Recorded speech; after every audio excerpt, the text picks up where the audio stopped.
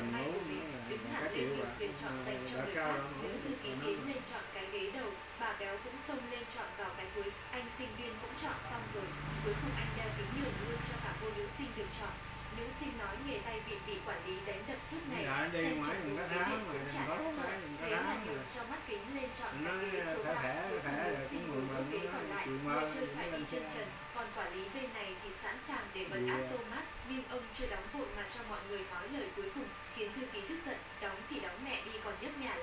Thôi ghé thăm vợ trò rồi về về bây giờ đâu có dám lắm. dạy về nấu đâu. Để ra nhấp sáng mãi, ngủ mãi, đêm nay áp mơ gì? qua một cánh tay người chơi nào đó đã rơi xuống căn phòng.